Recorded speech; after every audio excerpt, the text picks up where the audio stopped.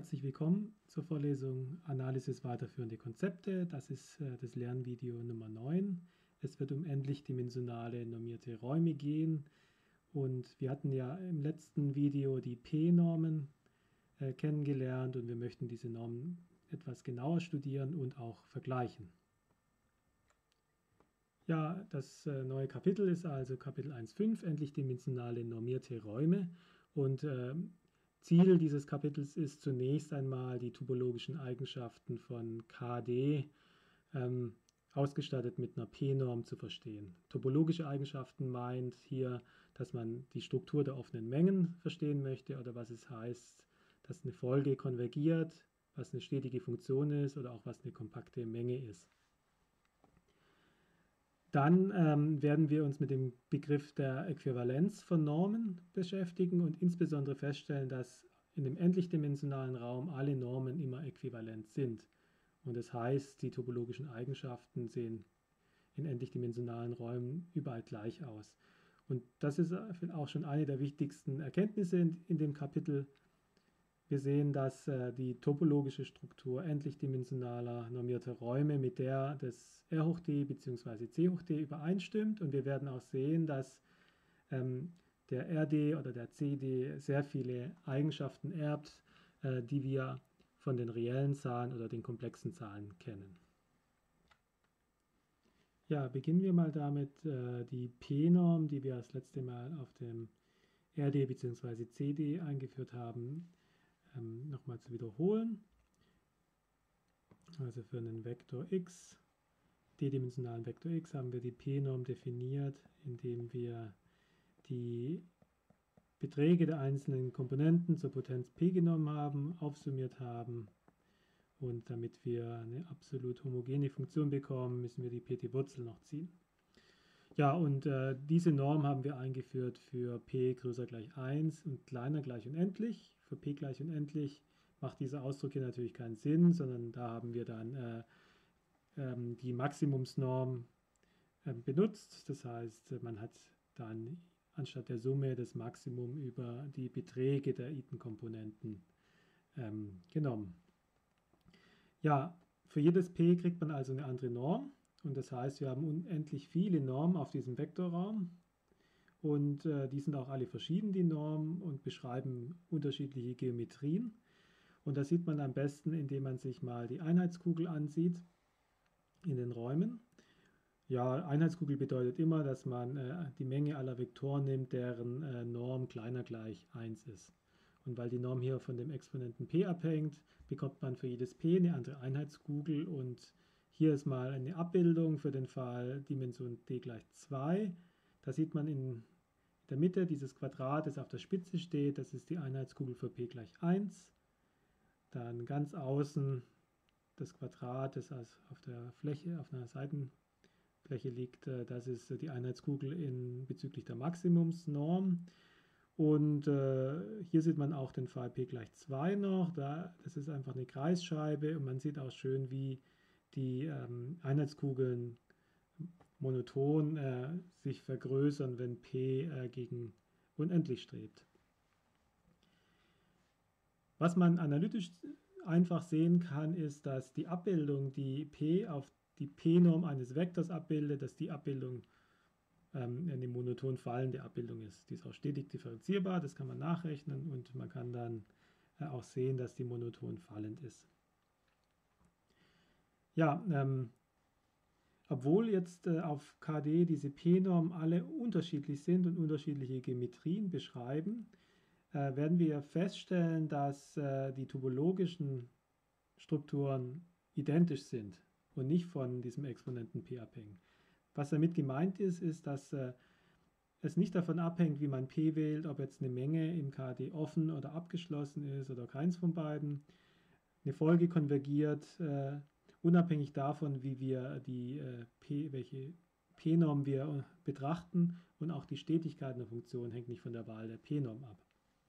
Und das gilt äh, nicht nur äh, für den Vektorraum KD mit, mit den P-Normen, das gilt auch für jede andere anderen äh, endlichdimensionalen normierten Raum. Man stellt fest, dort hängt die Topologie nicht von der Wahl der Norm ab, im endlichdimensionalen. Aber im unendlichdimensionalen, das werden wir auch ganz kurz sehen, äh, ist die Aussage falsch. Dort können wir verschiedene Normen einführen, die tatsächlich dann auch verschiedene Begriffe wie Offenheit und Konvergenz und Stetigkeit ähm, implizieren. Ja, um das äh, mathematisch äh, richtig formulieren zu können, benötigen wir den Begriff der Äquivalenz von Normen. Und der geht wie folgt, wenn wir einen Vektorraum x haben und auf dem Vektorraum zwei Normen betrachten, dann nennt man diese Norm äquivalent, falls wir diese Ungleichung haben. Hierbei ist c eine positive Konstante und die soll für alle Vektoren x aus dem Vektorraum gelten. Das heißt, man kann äh, beispielsweise die zweite Norm nach unten durch die erste und nach oben durch die erste Norm abschätzen. Und die Bemerkung ist, dass, äh, das sieht man sehr einfach, dass diese Definition äh, symmetrisch ist. Wir können hier 1 und 2 vertauschen und äh, erhalten eine äquivalente Eigenschaft. Ja, in dieser, ähm, in dieser Ungleichungskette kommen zwei Ungleichungen vor. Einmal wird x1 nach oben durch x2 kontrolliert und einmal die äh, zweite Norm durch die erste Norm kontrolliert. Und wenn man nur eine dieser Abschätzungen hat, dann äh, führt das auf einen anderen Begriff, und das ist Inhalt dieser Bemerkung. Und zwar nennen wir eine Norm, eine erste Norm schwächer oder auch gröber als eine zweite Norm, falls man diese erste Norm eben durch die zweite Norm abschätzen kann. Und ähm, ja, das hat verschiedene Konsequenzen. Zum Beispiel, wenn wir eine Folge haben, ähm, xn, die bezüglich der zweiten Norm konvergiert. Das bedeutet, es gibt einen Grenzwert x und der Abstand xn minus x in der Norm geht eben gegen 0, wenn, er, wenn n gegen unendlich geht. Dann folgt aufgrund dieser, dieser Ungleichung, dass dann natürlich auch ähm, der Abstand von xn zu x gemessen in der ersten Norm gegen 0 geht. Denn wir können diesen Ausdruck bis auf eine Konstante c durch äh, den, die, den Ausdruck mit der zweiten Norm abschätzen. Das bedeutet, und deshalb sagt man auch schwächer, wenn eine ähm, Folge in einem normierten Raum bezüglich der stärkeren Norm konvergiert oder beschränkt ist oder eine Cauchy-Folge ist, dann ist, hat sie auch diese Eigenschaft bezüglich der schwächeren Norm. Ja, warum nennt man äh, die erste Norm, falls diese Ungleichung gilt, gröber? Nun, die Erklärung ist die folgende. Wenn wir eine Menge haben, die offen ist bezüglich der ersten Norm, dann ist sie auch bezüglich der zweiten Norm offen. Das kann man auch sehr einfach sehen. Und ähm, Warum nennt man das dann gröber? Nun, die, das bedeutet, wenn wir diese Implikation haben, bedeutet das, dass äh, die Menge aller offenen Mengen bezüglich der 1-Norm weniger Mengen enthält potenziell als die Menge aller offenen Mengen bezüglich der zweiten Norm. Also in dem normierten Raum, wenn wir die zweite Norm verwenden, gibt es potenziell mehr offene Mengen. Und äh, wir werden später sehen, dass man äh, eben Konvergenzbegriffe und Stetigkeit ähm, über die Menge aller offenen Mengen äh, identifizieren kann. Man nennt dann das äh, eine Topologie und das wird äh, Thema sein dieser Vorlesung ganz am Ende ähm, des Semesters. Und äh, wenn man nun so eine ähm, Beziehung hat zwischen zwei Normen, dann ist eben die Topologie, die von der ersten zur ersten Norm gehört, gröber als jene, die zur zweiten Norm gehört. Ja, und die letzte Beobachtung ist, äh, das ist auch äh, sehr klar, wenn man äh, den Punkt, der die Folgenkonvergenz thematisiert, betrachtet. Ja, die letzte Konsequenz ist, ist, dass eine Funktion, die bezüglich der ersten Norm stetig ist, dann auch bezüglich der zweiten Norm stetig sein muss. Diese ganzen Zusammenhänge sind nochmal hier in dieser Tabelle zusammengeführt. Also wenn äh, der erste Raum oder die erste Norm schwächer ist, beziehungsweise die zweite Norm stärker ist, dann spricht man auch von einer gröberen beziehungsweise einer feineren Topologie. Man hat in der gröberen Topologie äh, mehr konvergente Folgen weniger offenen Mengen und weniger stetige Funktion, während man entsprechend äh, dann eben weniger konvergente Folgen bezüglich der stärkeren Norm hat, mehr offene Mengen bezüglich der ähm, feineren ähm, Topologie und auch mehr stetige Funktionen bezüglich der feineren Topologie hat. Das kann man, ähm, das sollte man sich in dieser Form eben merken. Gut, und wenn man nun äh, äquivalente Normen hat, dann bedeutet, dass diese Beziehung in beide Richtungen gilt. Dann können wir auch die zweite Norm durch die erste Norm abschätzen und nicht nur die erste durch die zweite.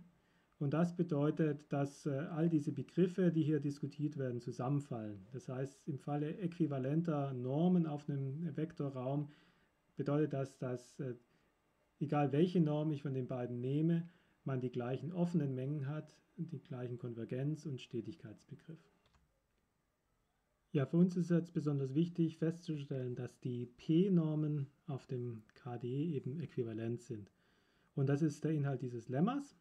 Hier sind PQ zwei Exponenten, Q ist größer als P und die erste Abschätzung sagt, dass äh, man die kleinere P-Norm durch die größere abschätzen kann und es kommt eine Konstante vor, in der die Dimensionen und die Exponenten auftauchen.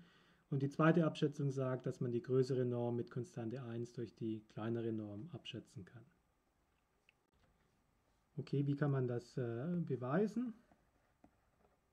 Wir fangen erstmal an mit der ersten Abschätzung, das ist Schritt 1, und äh, schauen uns erstmal den Fall an, dass Q eben die unendlich ist, das heißt auf der rechten Seite steht die Maximumsnorm.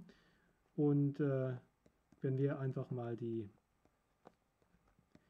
P-Norm hinschreiben, meinetwegen zur Potenz P, dann können wir natürlich diese, jeden dieser Terme abschätzen durch die Maximumsnorm hoch P und sehen dadurch, weil man dann äh, letztlich d mal den gleichen Term aufsummiert, dass wir diesen Ausdruck nach oben durch d mal die Maximumsnorm hoch P abschätzen können. Und wenn wir jetzt die P die Wurzel nehmen, dann ähm, erhalten wir genau diesen Ausdruck. Wir schauen nochmal, wenn wir die p die Wurzel von d nehmen, dann gibt es d hoch 1 über p und äh, wenn q unendlich ist, dann ist 1 durch q nach Konvention ja 0, also ähm, erhalten wir genau diese Form hier. Der Fall ähm, p kleiner q kleiner unendlich, den ähm, behandelt man mit Hilfe der ähm, mit Hilfe der äh, Hölderschen Ungleichung. Ne? Mit der Hölderschen Ungleichung Vielleicht können wir an die hier erinnern. Das ist ja eine Ungleichung von der Form, dass wir hier zwei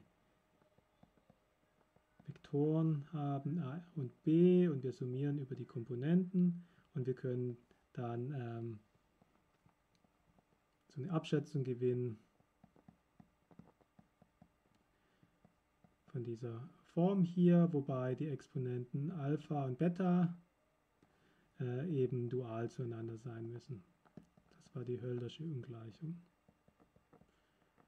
Und äh, die möchten wir hier ähm, anwenden, um sozusagen aus diesem P hier ein Q zu bekommen, weil wir ja die Q-Norm haben möchten auf der rechten Seite. Naja, um aus dem P ein Q zu bekommen, äh, können wir einen äh, der, der Exponenten in der Hölderschen Ungleichung als Q über P wählen. Ne? Wenn Q über P mit P multipliziert wird, kommt eben gerade ähm, Q raus. Ja, und damit dann die Dualitätsbedingung erfüllt ist, muss dann der zweite Exponent Q über Q minus P sein. So, und jetzt hat man hier irgendwie nur einen Vektor. Was ist denn der zweite Vektor bei der Anwendung der Hölderschen Ungleichung? Nun, der zweite Vektor ist sozusagen der Vektor mit äh, der konstante Vektor, der überall in seinen Komponenten die 1 hat. Ne? um das nochmal deutlich zu machen, das heißt, dieser ganze Ausdruck hier, dieser ganze Ausdruck ist sozusagen AI und äh, das rote hier ist die 1. Und in dieser Form können wir jetzt die Höldersche Ungleichung anwenden und erhalten dann eine Abschätzung nach oben. Und dann steht hier diese Summe i von 1 bis d, xi hoch p mal q über p, das ist xi hoch Q. Dann müssen wir hier die Potenz P über Q nehmen. Und äh, ja, beim zweiten kriegen wir dann diese Summe, mit, äh, wobei äh, das, das, B ja einfach BI immer 1 ist. Das heißt, wir summieren die 1 äh, D mal auf und äh, dann bleibt nur noch ähm, die äußere Potenz übrig und das ist dann Q minus P über Q. Und wenn wir hiervon die ähm, P die Potenz nehmen, dann kommen wir auch gerade wieder zu diesem Ausdruck hier. Ja, jetzt möchten wir diese zweite Abschätzung beweisen. Das ist also Schritt 2.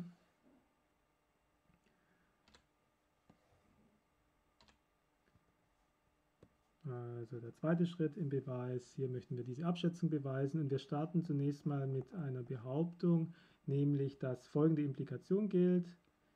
Falls wir einen Vektor haben, dessen p-Norm 1 ist, dann soll daraus folgen, dass die q-Norm kleiner gleich 1 ist. Und äh, wie sieht man das? Nun, das sieht man wie folgt. Also das Argument ist, 1 ist ja das gleiche dann wie x p-Norm hoch p. Das können wir ausschreiben.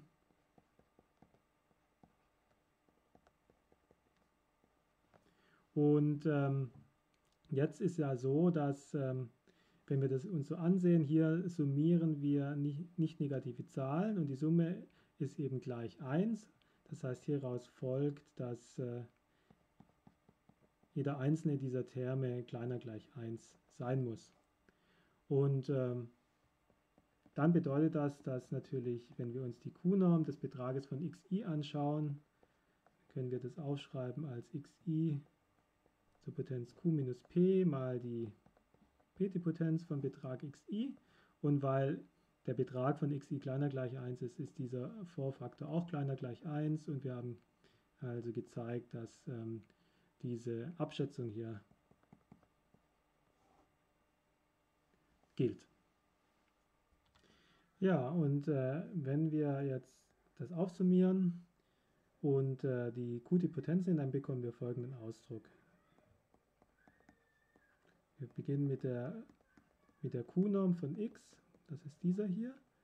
Wir verwenden jetzt äh, das, ähm, das, äh, diese, diese Abschätzung hier für jeden einzelnen dieser Terme. Das heißt, wir können das nach oben abschätzen durch ähm, die P-Norm, äh, die P-Potenz der Beträge. Und jetzt würde hier 1 durch Q stehen, aber wir schreiben das 1 durch Q mal anders auf. Und zwar ähm, schreiben wir hier 1 durch P plus 1 durch q minus 1 durch p. Und äh, wenn man das jetzt hier ausschreibt, dann steht hier zum einen mal die p-Norm von x und dann bleibt eben ein Faktor übrig. Und das ist äh, dieser Faktor hier. Und jetzt wissen wir aber, dass aufgrund der Annahme hier ähm, dieser Term hier gleich 1 ist und äh, wenn wir 1 mit, äh, mit irgendeinem Exponenten potenzieren, dann bleibt es eben 1 und das heißt, die rechte Seite ist nichts anderes als die, die P-Norm von x. Und dann haben wir von links nach rechts gezeigt, dass die Q-Norm von x durch die P-Norm von x abgeschätzt werden kann. Okay, löschen wir mal das Argument. So, um jetzt dann äh, tatsächlich diese zweite Abschätzung beweisen zu können, äh, wenden wir einen Trick an, den man oft anwendet. Und zwar, ähm, wir können uns äh, auf diesen Spezialfall zurückziehen, indem wir die Vektoren, die wir betrachten, geeignet ähm, äh, reskalieren. Und, äh, wir fangen also mal an. Jetzt sei x tatsächlich ein beliebiger Vektor, ungleich 0. Für 0 müssen wir es nicht beweisen, weil dann auf beiden Seiten 0 steht und die Abschätzung trivialerweise erfüllt ist. Also sei jetzt mal x ungleich 0. Dann können wir natürlich die gute Norm, die Q-Norm von x schreiben als, als die Q-Norm von folgendem Ausdruck. Wir schreiben x auf als x über die P-Norm von x mal die P-Norm von x. Ja, da haben wir eigentlich x nur mit einer 1 multipliziert. Und jetzt können wir die absolute Homogenität der Q-Norm verwenden und sehen, also das ist ja das gleiche wie die P-Norm von x mal das, was eben in der Norm übrig bleibt. Und jetzt sind wir in der Situation, dass hier drin ein Vektor steht, dessen P-Norm eben 1 ist. Das heißt, wir können diese Behauptung hier oben verwenden, diese Implikation, und stellen fest, dass also dann die Norm dieses Vektors hier kleiner gleich 1 sein muss. Und damit, ähm, damit äh, steht die Behauptung da, die wir beweisen wollten. Also wir haben jetzt festgestellt, dass die ganzen P-Normen auf KD äquivalent sind. Und äh, eine einfache Konsequenz aus dieser Feststellung ist nun, dass für alle P äh, diese normierten Räume Banachräume sind. Der Beweis ist jetzt sehr einfach. Zunächst wissen wir, dass, äh, und das haben wir nämlich schon gezeigt, dass KD ausgestattet mit der Maximumsnorm ein Banachraum ist. Und weil jetzt die Normen äquivalent sind, bedeutet das, wenn wir also eine Cauchy-Folge nehmen in, in diesem Raum mit der Pi-Norm, dann ist diese Folge auch eine Cauchy-Folge bezüglich der Maximumsnorm. Dann konvergiert sie bezüglich der Maximumsnorm und ähm, weil aber die Normen äquivalent sind, konvergiert sie dann auch bezüglich der P-Norm. Also hat jede Cauchy-Folge in diesem Raum mit der P-Norm eine konvergente Teilfolge und damit ist der Raum vollständig und damit eben ein Banach-Raum. Und eine andere einfache Konsequenz ist die folgende. Wir haben ja gesehen, dass äh, wenn wir eine Folge haben, die bezüglich der Maximumsnorm konvergiert, dass dies genau dann der Fall ist, dass die ganzen Komponentenfolgen eben in äh, R oder in C konvergieren. Das heißt, Normkonvergenz und komponentenweise Konvergenz sind äquivalent und das haben wir für die Maximumsnorm gezeigt. Und weil jetzt aber die ganzen P-Normen ja äquivalent sind, gilt diese Aussage auch für beliebige P-Normen. Ja, und damit sind wir schon am Ende dieses äh, Lernvideos und äh, im nächsten Video möchten wir dann diese Beobachtung auf äh, beliebige endlichdimensionale Vektorräume ausweiten.